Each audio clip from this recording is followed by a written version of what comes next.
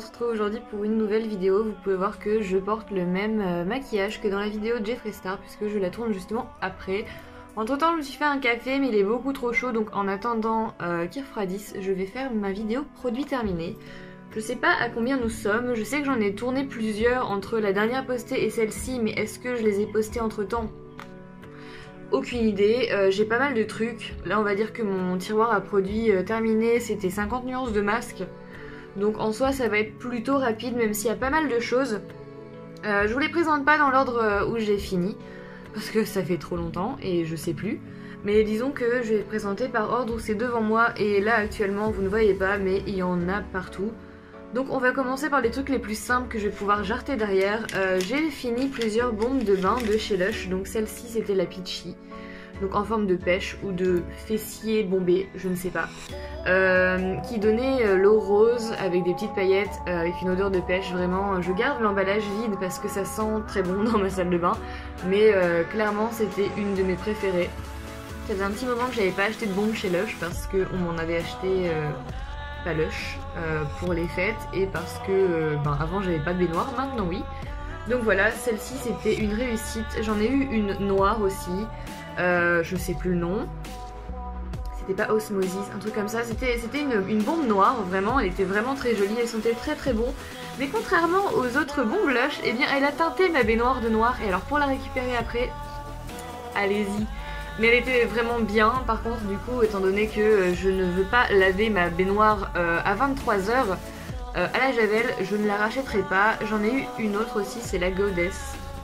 Donc une genre de boule violette à paillettes avec un creux dedans. Et par contre, celle-là, une perfection. Elle sentait tellement bon. Et c'est pareil, j'ai gardé le papier vide quelque part. Sauf que je sais plus où je l'ai mis. Donc voilà. Ensuite, pour continuer avec les bombes de bain, on avait la Ice Bomb, donc j'ai juste le petit euh, papier pour me rappeler que je l'ai fini. Donc c'était celle avec euh, le bonhomme de neige que j'avais eu pour mon anniversaire ou pour Noël par un lot de 3 de chez Bomb Cosmetics. Et c'est pareil, il était très très bien. Après, on n'est pas euh, au niveau des bombes de Lush, malheureusement, mais le prix est différent aussi. très très bien, un pur moment de détente. de toute façon, une fois que je suis dans l'eau, je peux mettre du savon, des sels de bain, une bombe, les trois. je serai toujours autant détendue. Ensuite, euh, j'ai terminé la crème de chez La Neige, donc ça c'est le pot neuf parce que euh, vous êtes actuellement posé sur le pot vide. Euh, je l'ai racheté avant d'avoir fini l'autre parce que la crème était très bien. Donc c'est pas vraiment une crème de jour, c'est un gel hydratant qui est très très frais, qui est super hydratant pour le coup, qui est génial. Le souci c'est que la neige. Donc quand ils vendent leurs produits en Europe, euh, ils ne testent pas sur les animaux. Par contre, ils sont obligés de les tester en Chine et ils vendent en Chine. Et là ça me dérange un peu. Après quand on parle euh, qualité du produit, je suis désolée j'étais en train de remonter mes lunettes qui ne sont pas là puisque j'ai des lentilles. Quand on parle qualité du produit, c'est vraiment bien, euh, ça sent bon, ça sent le frais, c'est pas une odeur entêtante, ça hydrate vachement bien. j'ai tendance à avoir la peau déshydratée au niveau du dessous de l'œil, pourquoi? Aucune idée mais ça hydrate carrément bien. Et bon là maintenant que le pot a déjà été racheté euh, clairement elle coûte 33 euros donc euh, je ne vais pas la jeter comme ça mais je ne suis pas sûre de la racheter ensuite parce que euh, je cautionne pas tout simplement et je pense que je pourrais trouver peut-être pas mieux mais aussi bien pour moins cher et cruelty free tout simplement Ensuite, euh, pour les soldes, j'avais acheté une crème revitalisante, donc crème de nuit de la marque Polar, donc nuit polaire, aux algues boréales et ça sentait bon. Ça sentait bon, c'était nourrissant, c'était pas trop gras pour le soir, mais bien assez gras pour que ça pénètre toute la nuit, c'était génial.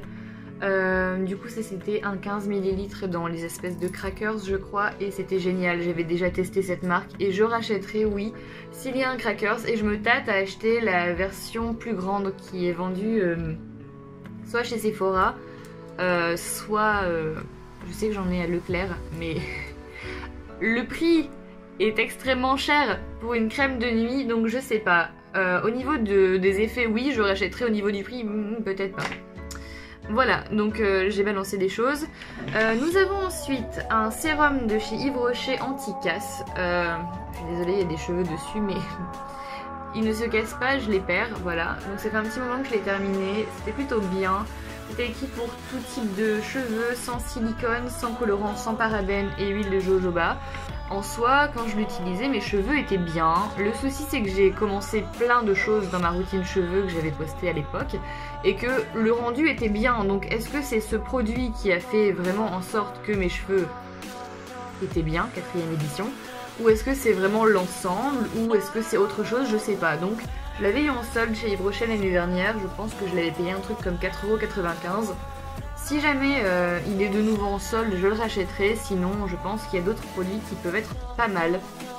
Ensuite, l'année dernière, je m'étais réabonnée pour un mois à la Birchbox. J'avais eu celle de décembre et ils m'ont envoyé des choses euh, globalement pour euh, les peaux matures. Alors que j'avais rempli ma description et j'ai pas vraiment une peau mature, j'ai une peau, voilà. J'avais eu aussi ça, en fait, c'est de la marque Young Again. Encore une référence au fait que je vieillis j'apprécie pas du tout. C'est une huile traitante à l'immortel, donc euh, c'est quelque chose que je mettais sur les pointes de mes cheveux. Ça sentait très bon. Euh, je pense que le full size coûte vraiment très cher et pour euh, mes cheveux j'ai trouvé un autre, enfin pour mes pointes j'ai trouvé une autre huile et une huile d'amande douce fait très bien son effet donc non je ne rachèterai pas et oui je suis un petit peu salée du fait que on m'envoie des choses pour les peaux matures. Voilà je suis surexcitée clairement. Ensuite, j'ai terminé trois liners. Euh, c'est pour ça que je vous disais que j'étais pas sûre de la période parce que vraiment, les deux premiers, je sais que je les ai terminés euh, il y a un petit moment. Donc c'est les euh, Ultimate Pen, les eyeliners de chez Kiko en feutre qui sont géniaux, que je rachète à chaque fois. que j'ai essayé de racheter mais je me suis trompée du coup j'ai acheté autre chose et ça va pas mais en général c'est un liner qui coûte 6,95 ou 7,95 il fait très bien le taf donc en général je le rachète quand j'achète pas le Better Than Sex euh, de Too Faced. Ensuite pour un autre liner euh, dans lequel j'ai mis beaucoup beaucoup d'espoir où les gens m'ont dit oui achète-le tu vas voir il est trop bien euh, j'ai nommé le tattoo liner de Kat Von qui est une merde sans nom alors les trois premiers jours le rendu est génial et puis finalement tu bailles et une larme coule et, et là c'est la merde c'est le drame ton liner fait une flaque juste sur le côté de ton œil et en plus de ça il sèche très vite. Je pense que j'ai dû l'utiliser, pas tous les jours, hein. J'ai dû l'utiliser honnêtement deux semaines, trois semaines max sans me maquiller tous les jours et le truc a séché. Euh, une fois euh, il va marquer encore un petit, peu, une fois pas du tout. Euh, vraiment, je crois qu'il coûte 19 ou 20 euros un liner, mais ne n'achetez jamais cette chose. Vraiment, je ne recommande pas du tout. Euh, puisqu'il a séché, voilà. Euh, là, alors que ça fait un peu plus d'un mois, ça va faire deux mois que j'ai le Better Than Sex de Too Faced, donc qui est là, qui est loin d'être fini. Il n'a pas bougé, il est parfait. Rien d'autre à dire. Ensuite, au niveau des maquillants, j'ai deux fois les mêmes puisque j'ai le Skin Essential de chez Alvira que j'avais déjà eu dans le swap euh, avec Géraldine, donc que j'avais apprécié, que j'ai racheté en deux fois et que j'ai fini donc oui je rachèterai parce que c'est un, un démaquillant biphasé qui ne fait pas un effet trop trop gras sur le visage, qui démaquille bien. Euh, un coton euh, recto verso c'est très très bien. Euh, il est génial. Pour me dépanner j'ai acheté le démaquillant pour les yeux biphasés waterproof de chez Sion, Sien, Sien, de chez Lidl qui pour le coup reste beaucoup plus gras donc je ne le rachèterai pas, je l'avais juste pris pour me dépanner parce que quand vous mettez du rouge à lèvres noires, etc. ou du... Enfin, plein de couches de maquillage au niveau des yeux. Euh, clairement, une lingette ou une eau micellaire, ça ne passe pas. Mais vraiment, euh, je l'ai fini, et encore, il reste encore un petit peu dedans. Je l'ai fini parce qu'il fallait que je le finisse, c'est parce que j'aime pas gâcher, mais je ne rachèterai pas. Ensuite, toujours dans les démaquillants, et après c'est la phase masque, etc. Euh, nous sommes sur le soin du, visage biface. solution micellaire démaquillant Face euh, nettoie, démaquille euh, matin et soir, revitalise, décongestionne, absolument pas. Euh, pour le coup, je l'ai fini parce que c'était du 500 ml, mais quand on dit décongestion, on dit dégonfler. moi, elle m'a fait gonfler le visage et les yeux. Donc pas tout le temps, mais relativement, on va dire une fois sur trois, elle me faisait gonfler le visage. Mais encore dans l'optique de ne pas gâcher, je l'ai terminée et elle est pas très... Enfin, peau sèche, sensible, irritable, sujette aux rougeurs, et eh bien quand je me démaquillais j'avais encore plus de rougeurs, j'étais encore plus sensible et mes yeux me brûlaient. Donc euh, il me semble qu'on la vend chez Action, c'est pareil, je l'avais prise pour me dépanner parce que j'avais plus de biphasé. Non, non, non, j'essaie de poser les choses euh, là où je peux. J'ai ensuite encore fini ma base neutre de masque capillaire de chez Aromazone. Depuis que je l'ai fini, je l'ai racheté trois fois, puis j'en ai donné une, puis j'en ai racheté une. Euh, vous pouvez tout faire avec ça, vous pouvez l'utiliser euh, à vide, donc juste la crème, vous pouvez rajouter des huiles essentielles, vous pouvez rajouter des... des euh, merci des mouettes. Vous pouvez rajouter des, choses qui vont faire que le masque va s'améliorer, je sais pas si vous avez besoin que vos cheveux soient moins ternes, vous pouvez rajouter des choses, des, ingrédients pour faire votre masque vous-même. Moi j'utilise comme ça et au-dessus je mets des huiles donc c'est totalement validé. On remercie une fois encore euh, Géraldine qui me l'avait offert dans le swap. Ensuite, chez Nose, j'avais trouvé euh, des petits euh, dentifrices de la marque Merci Andy. Donc j'avais jamais vu de dentifrice de la marque. Donc celui-là c'est le Holy Mint, donc menthe. Il y a aussi au réglisse, mais alors pour le coup j'aime le réglisse, la réglisse, mais alors pas en dentifrice du tout. donc là j'en avais acheté deux, j'en ai racheté six. Vraiment, j'ai une passion pour le dentifrice. Et c'est trop bien. En voyage, le format est très très bien. La menthe, ça laisse pas un goût de fluor dégueulasse parce que je pense qu'il n'y a pas de fluor. Euh, en tout cas, c'est 98% d'origine naturelle. On est sur du 50 ml, pardon. Fabriqué en France et euh, vraiment très très bien, super pratique. Il y a un bon goût dans la bouche, ça n'écœure pas. Il est vraiment génial. Alors, je vais finir avec n'est pas des masques. Euh, j'ai fini ce savon pour les mains, donc c'est le Blossoming Hand Wash de euh, Rituals, donc euh, la, la collection Ritual of Sakura qui était géniale. j'ai remis de l'eau pour faire mousser le fond parce que je voulais pas le finir. J'ai encore des produits de cette gamme là. Euh, vraiment, la senteur est géniale. Bon, après, c'est du savon pour les mains, donc ce dont on attend de lui, c'est qu'il lave les mains. Les mains étaient très bien lavées et en plus, elles sentaient bon. Est-ce que je l'achèterai tout seul parce que si jamais éventuellement ils le font tout seul, non, parce que je trouve que c'est quelque chose qui est pas mal en coffret ou à offrir.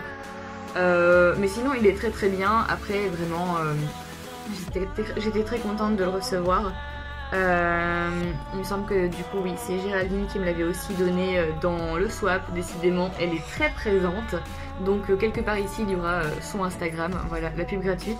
Mais est-ce que clairement je le rachèterai si jamais par exemple il coûtait 25 euros? Non je ne vais pas dépenser 25 euros dans un savon pour les mains. Mais est-ce que si jamais on me le réoffre, clin d'œil, j'apprécierais l'utiliser? Oui totalement. Ensuite donc on est sur des masques voilà, la bonne couche de masque. Euh, on va y aller très vite. J'ai eu un masque Peel-Off euh, Glow euh, with Moonstone Extract, donc avec des extraits de pierre de lune, de Moonstone. Ben, c'était un masque Peel-Off, voilà. Est-ce qu'il était exceptionnel? Non.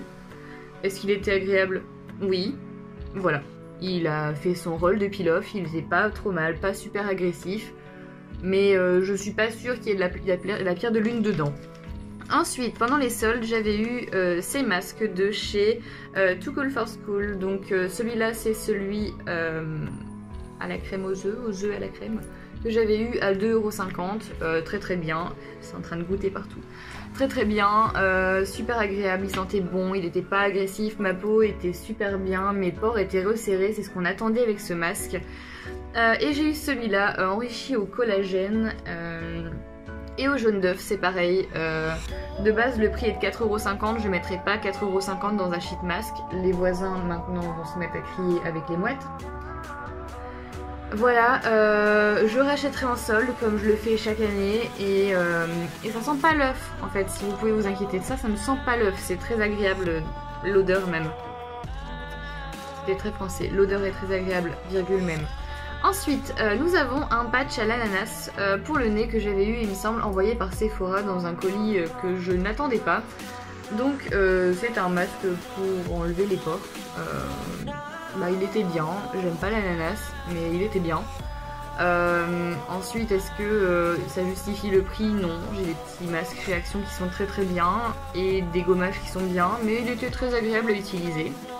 Ensuite, j'avais celui-ci de chez Action à l'amande, euh, à l'huile d'amande et à la vitamine E. Donc je l'avais déjà acheté. Je vais en faire deux en même temps parce que c'est la même chose. Sauf que celui-ci est au vin rouge. Ça ne sent pas le vin rouge.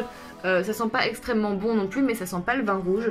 les deux sont très très bien, je crois qu'ils sont à 79 centimes, donc niveau rapport qualité-prix c'est très très bien. Vous, vous allez les voir souvent dans les produits terminés, vous les avez certainement déjà vus.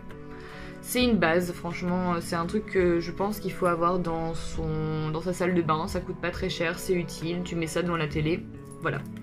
Ensuite, j'avais acheté ça chez euh, Nose, donc 79 centimes, c'est...